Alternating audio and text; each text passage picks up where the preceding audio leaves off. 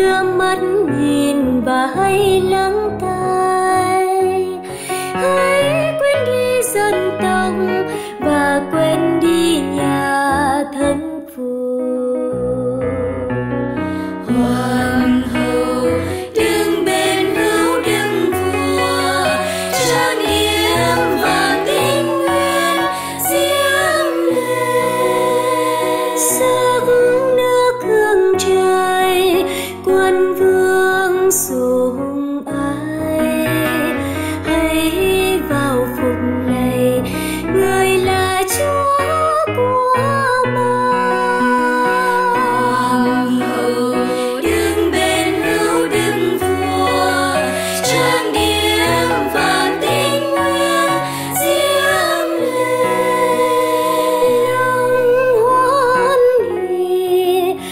người tiên